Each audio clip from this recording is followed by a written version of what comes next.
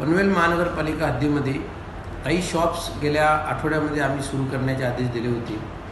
गेल्या आठवड्याचा अनुभव बघितला तर सोशल डिस्टन्सिंगचा निश्चितच नागरिकांनी चांगल्या प्रकारे पाळण्याचा उपक्रम दर्शविलेला आहे. परंतु काही भागामध्ये मात्र गर्दी होताना दिसते. उदाहरणार्थ मच्छी मार्केट किंवा खरेदीची बाजारपेठ. यामध्ये प्रामुख्यानं असं सुद्धा आढळून येतं की शहरामध्ये रिक्षा किंवा ओला यांना अजिबात परमिशन दिलेली नाही. तरीसुद्धा काही रिक्षा फिरताना दिसत आहेत माझी सर्व नागरिकांना विनंती आहे की रिक्षा अलाउडच नाही कारण रिक्षा ह्या संसर्गाच्या कारणीभूत असणाऱ्या कॅरियर्स असू शकतात. त्यामुळे कृपया रिक्षा किंवा ओलानी प्रवास टाळावा.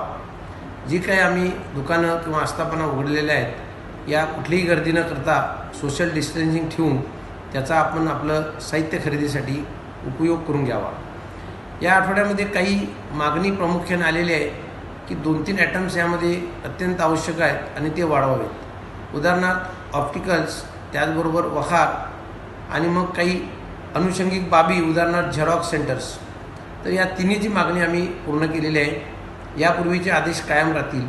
या आदेशामध्ये नव्यानं वाढ झालेले सोमवारी आणि शुक्रवारी झेरॉक्स सेंटर्स त्याचबरोबर मंगळवारी आणि शुक्रवारी फुटवेअर आणि ऑप्टिक्स. या फुटवेअरची सुद्धा पावसाळ्यापूर्वी खरेदी होणं गरजेचं आहे.